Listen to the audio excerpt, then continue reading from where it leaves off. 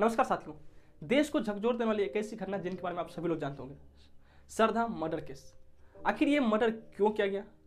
ये दोनों एक साथ कैसे आए और आगे क्या होने वाले इन सभी बातों पर आज हम चर्चा करेंगे। जो लोग सरधा मर्डर केस के बारे में नहीं जानते, उनको थोड़ी जानकारी के लिए बता दें कि सरधा नाम की एक लड़की है, जो कॉल सेंटर में काम कर रही होती है और वो एक उसी समय डेटिंग ऐप के ज़रिए एक लड़का से मिलता है, जिसका नाम है आफ्ताब हालाँकि आफ्ताब एक फ़ूड ब्लॉगर होता है। ये दोनों एक दूसरे को डेटिंग ऐप के ज़रिए, जिस डेटिंग ऐप का नाम है बम्बल उनके ज़रिए वो एक दूसरे को जानते हैं और ये कब प्यार में बदल जाता है। यानी दोनों एक दूसरे को डेटिंग ऐप के ज़रिए मिला और फिर ये दोनों एक दूसरे से प्यार करने लग जाते हैं। शारदा, अपने फैमिली को ये बात बताते हैं कि हम दोनों लिव इन में रहना चाहते हैं और उनकी फैमिली जो है, शारदा की फैमिली वो मानती नहीं है, कहती है नहीं। फिर भी श्रद्धा क्या करती है, अपनी फैमिली को छोड़कर चली जाती है। क्योंकि श्रद्धा अपनी फैमिली को बोलती है कि मेरी उम्र तेईस, चौबीस वर्ष हो गया है और अपनी फैसला मैं खुद ले सकता हूँ। और यहाँ से श्रद्धा अपनी फैमिली को छोड़ती है और वो चली जाती है आफ्ताब के साथ। हालाँकि आफ्ताब और श्रद्धा दोनों ही मुंबई के रहने वाले हैं और दोनों ही एक दूसरे के साथ दिल्ली चली जाते हैं।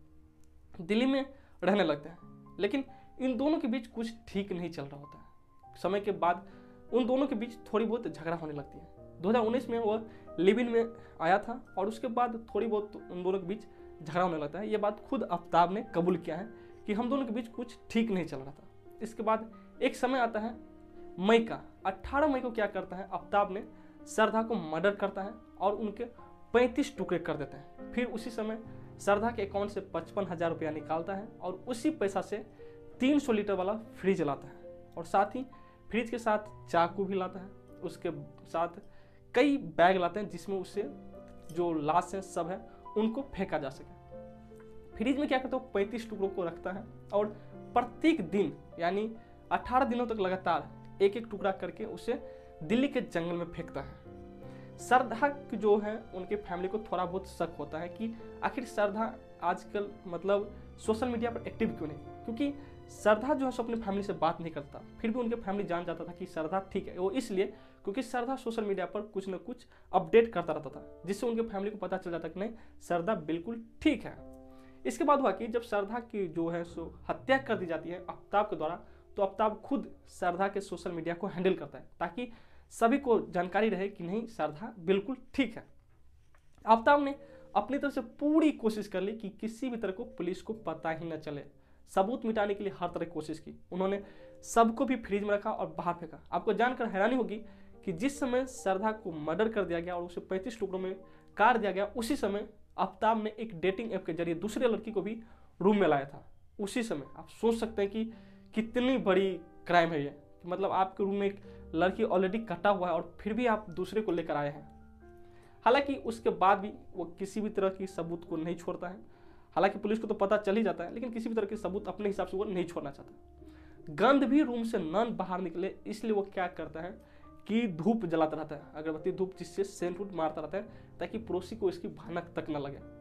लेकिन होता क्या है कि 18 मई को तो मर्डर किया जाता है, उसके बाद अक्टूबर में जब उनके पिता को यह एहसास होता है कि नहीं, कुछ तो गलत हो रहा है श्रद्धा के साथ, वरना श्रद्धा आजकल एक्टिव क्यों नहीं है सोशल मीडिया पर?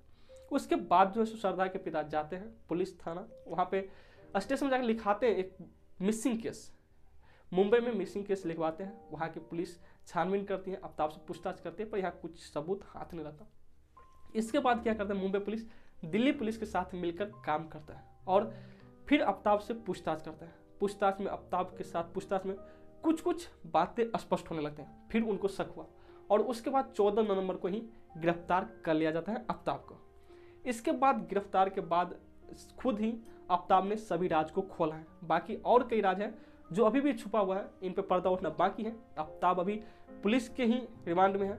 उनसे जो भी पूछा जा रहा है वो जैसे ही कोई अपडेट आता है हम आप लोगों के साथ ज़रूर साझा करेंगे। ये जो हद कर दी गई ये इस तरह की निर्दयपन जो है सो हद कर दी गई। कब प्यार को आप मतलब किस तरह का प्यार है यार? प्यार करते हो फिर उसे काट कर फ्रिज तक ल, मतलब रखने का नौबत आ गया।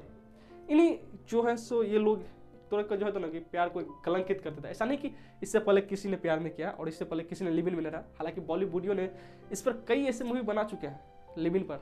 हालाँकि अगर आप लोग देखना चाहे तो जाकर यूट्यूब पर सर्च मार सकते हैं। बॉलीवुड वाले ने कई ऐसे मूवी बनाए लिविन के बारे में। लेकिन ये ऐसा लिविन वाला केस जहाँ पे एक दूसरे से डेटिंग ऐप के ज़रिए मिलते हैं और फिर ऐसा क्या हो जाता है आप लोगों के बीच थोड़ा बहुत के लिए कि आप उन्हें पैंतीस टुकड़ों में काटना पड़ जाए? हालाँकि इसके लिए कोई बड़ी बात नहीं है, जिस तरह की निर्दयपन किया है उन्होंने। और उनका कहना है कि जो पुलिस के साथ उन्होंने शेयर किया बातों को, कहता है वो जो है सो सोशल मीडिया से ही इन सब की जानकारी लेती है कि खून को कैसे मिटाया जाए, सबूत कैसे मिटाया जाए, कैसे इस तरह की वेब सीरीज़ को भी देखा है जिसमें मर्डर किया जाता है। तो उनका जो आइडिया है वो खुद कहता है कि मुझे सोशल मीडिया से ही मर्डर का पूरा आइडिया मिला था।